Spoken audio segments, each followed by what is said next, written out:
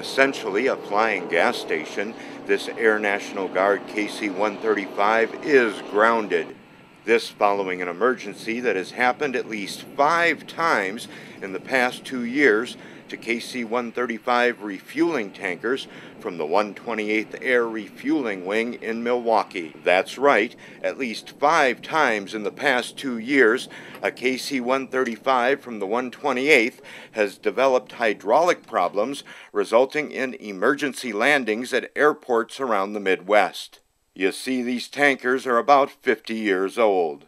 In fact, in June 2013, a reporter for Milwaukee television station WISN TV 12 investigated a rash of KC 135 emergency landings after hydraulic warnings. Upper Peninsula Breaking News called the 128th's Public Affairs Office to verify this important safety problem. With overcast skies, the three member crew of this KC 135 declared a hydraulic emergency.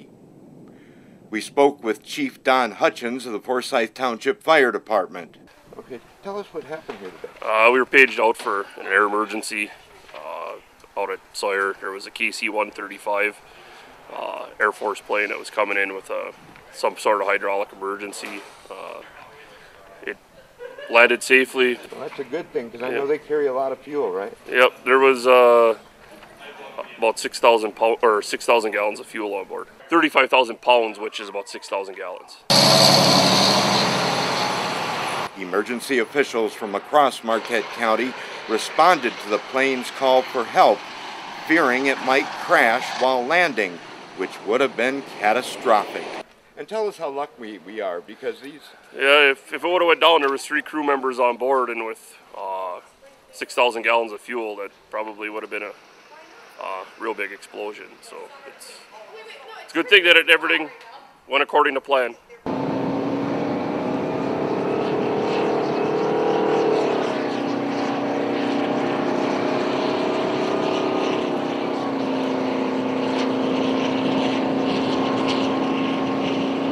The KC 135 was among several planes from the 128th Refueling Wing that had been practicing touch and goes on K.I. Sawyer's long runways noticed another one came in and did a touch and go. Yep, that's what they were up here, was practicing touch and goes, and this one had an in-flight emergency.